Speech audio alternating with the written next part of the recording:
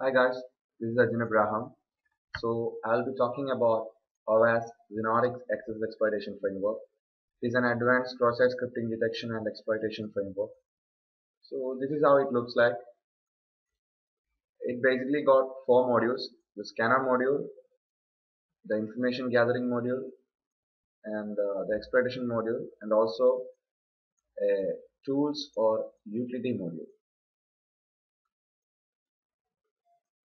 And it supports three browser engines the Trident, WebKit and the Kiko. So let's jump into the scanner module. The first thing you have to do is you have to configure the server. For that you can go to settings menu, configure server and provide the IP address and the port number. So the semi-persistent hook will come in handy at that part of exploitation. We will talk about that later. So let's start the server. So you can see that uh, the injection URL is copied to the clipboard and the server is started up. So it's ready to work. So first thing first, uh, let's see how to do a basic scan. So for that, I have an URL.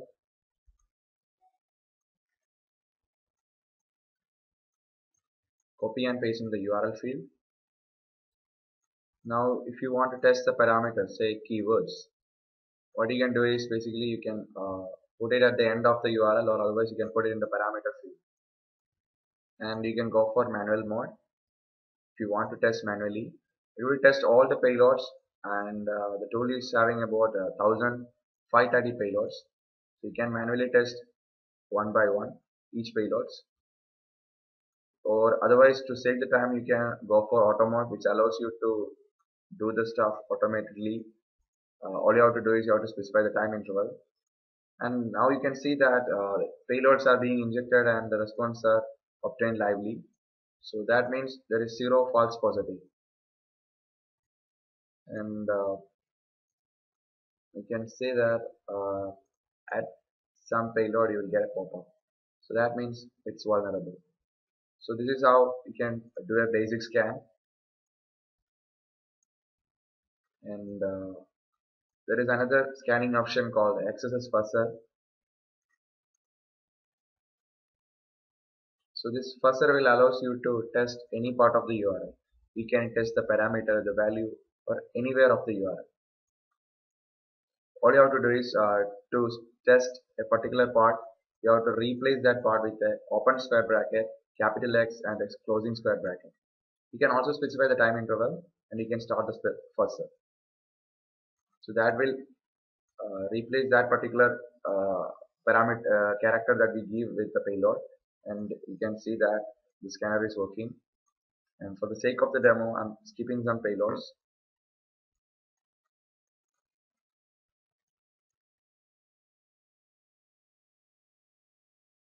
Now you can see the pop-up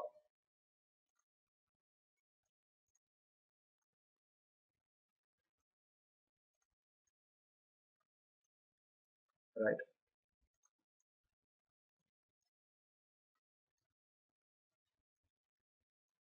So using all these browser engine is a mess. You will get a lot of pop-up box. So let's stay back with Trident. And another scanner feature is a post request scanner which basically allows you to scan the post request for accesses. So I got another URL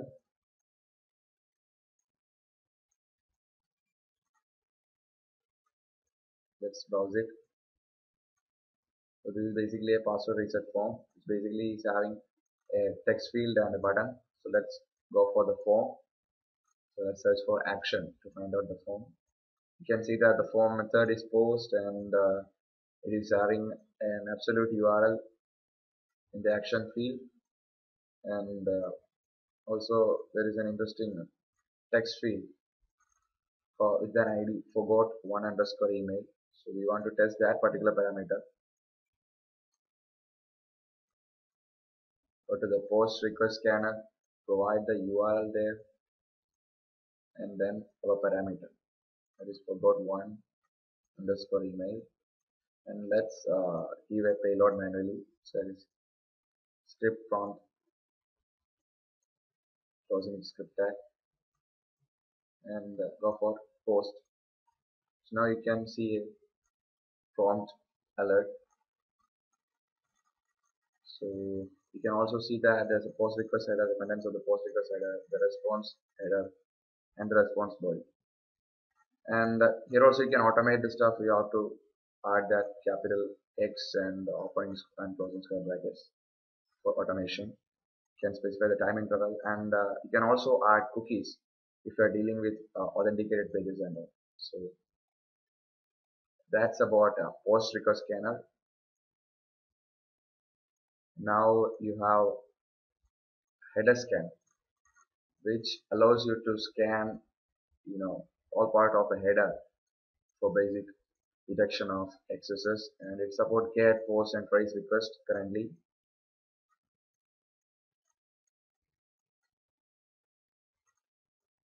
So I got one more website let's go to the website.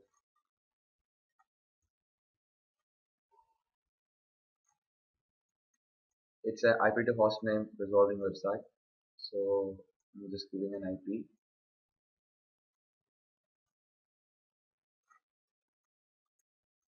interestingly you can see that my user agent got reflected there. So uh, I believe that it may be you know like uh, that particular uh, value is obtained from the user agent that is from the header. So how will we first that or test that? So in that case header scanner will come in handy. So you can just view the source and uh, you can find out the form. So it's post method and uh, you can see the action URL that's absolute URL and an input with the name IP so that's a text type of input.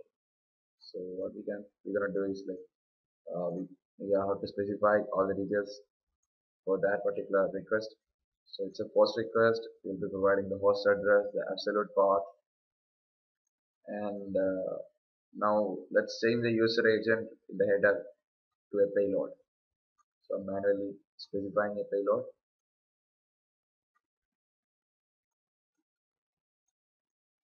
And uh, let's specify the post parameter that is IP equals some IP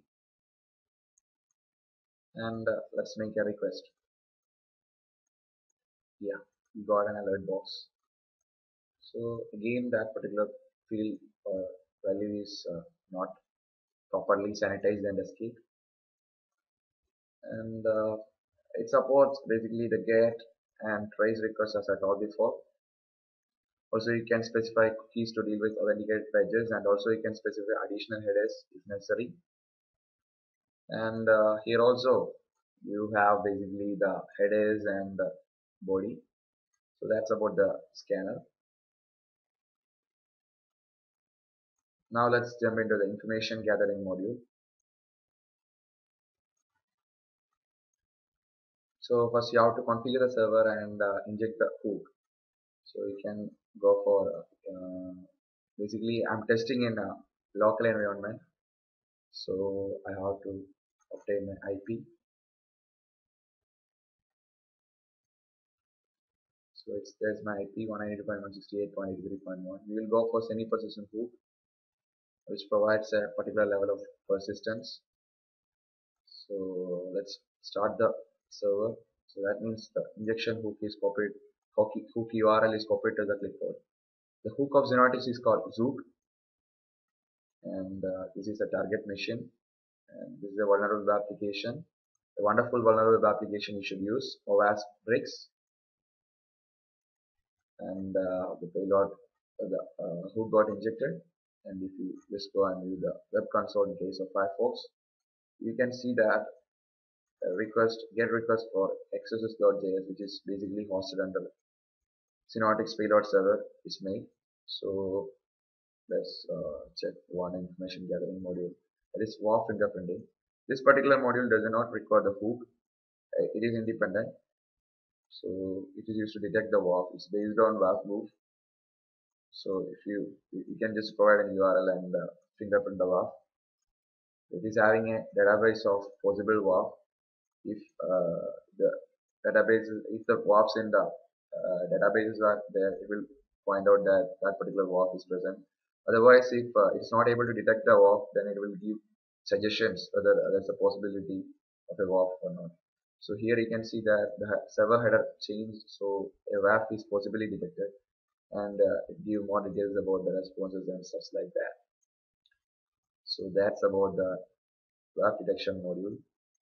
And all other uh, modules requires this hook to be there. So this is victim fingerprinting which allows you to fingerprint the victim you can see the victim.php call executed in the background at the victim side.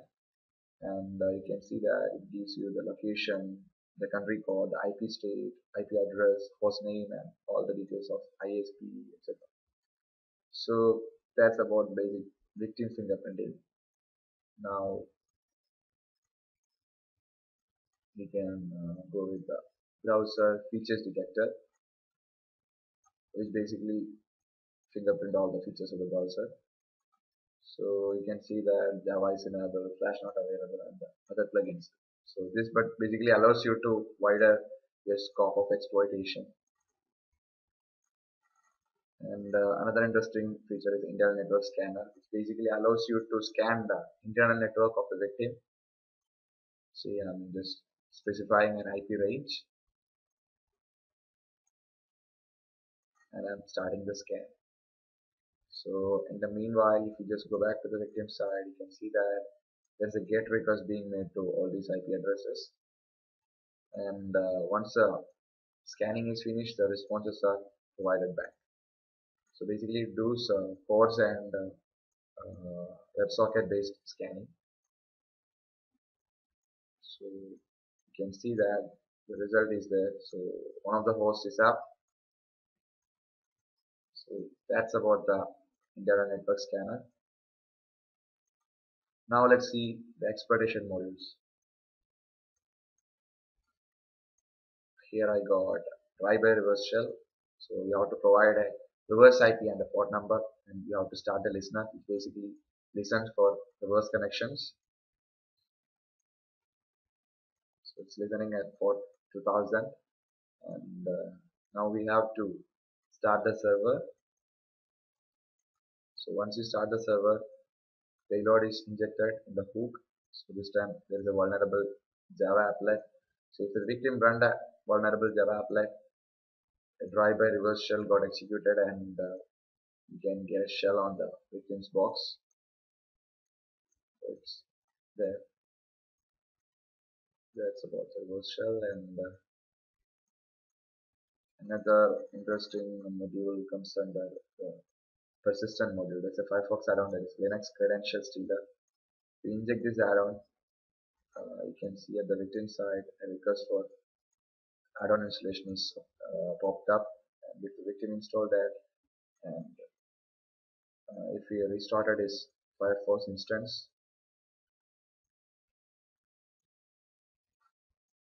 you can see that you will get the contents of the password file and the shadow file so the credentials are stolen basically. And uh, this add-on stays there forever. Uh, the contents of the shadow file is obtained only if uh, Firefox is uh, running under root privileges. Otherwise you will get only the password file. So that's about the credential stealer and uh, Another interesting exploitation module is the reverse HTTP reverse web shell. So you have to start the server and the proxy. And there is a basic option for response rewriting which is pretty self-understandable. And uh, let's start the web shell so you have to configure your browser to the specified uh, you know given uh, URL and port number. So that is uh, in this case it's 127.0.01 and 8008 so this is a web shell console. And uh, for the sake of the demo I'm just injecting a WordPress a local WordPress installation with the Sonotics hook. So I'm just copying the hook.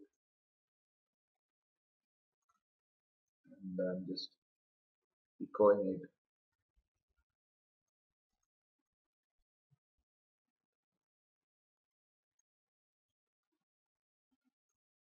Let's save it and uh, checking another browser instance.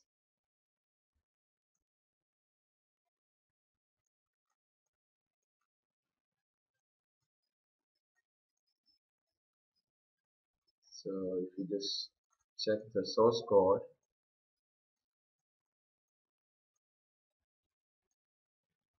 You can see that uh, the particular script is injected so meanwhile we get a session which we can hijack so if you hijack the session you can see that the victim session is reproduced reproduced at attacker side. And uh, say suppose the victim is logged in to his WordPress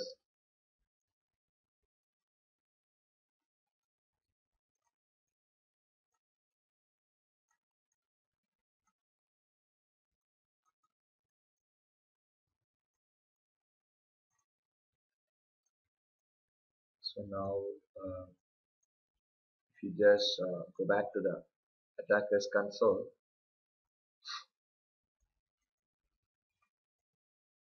You can see that another session is ready for hijacking. Hijack that too now you will get uh, you know the authenticated session. Right know you are in the so that's about the exploitation module and uh, got one more exciting exploitation module which is persistent module called Firefox Session Stealer which basically steals the session store file which is uh, responsible for storing the session while a crash or unexpected close occurs. So you have to specify the details of your FTP to which the session file shall be uploaded at a specified time interval. And this one works only on Windows. So once I inject the payload there is a payload uh, there is an add-on installation request and if the victim installed that. Uh, and uh, you can see that there's two sessions of Facebook and Twitter. So once the victim installed that and if you check the task manager you can see that there is an executable called Firefox updater which is our uh, you know, which is executed as a result of add-on installation, it will upload our session store file to the FTP. So if you check our FTP, you can see that the session store file is being updated and is being uploaded and you have to save that file in the profile directory of your Firefox. So I'm just copying it and uh, placing it over my Firefox profile directory. So once I replace that and uh, once I open my Firefox installation you can see that the same session at the victim side is being reproduced here and you are logged into both Facebook and Twitter so this is how the session start uh, the session stealing works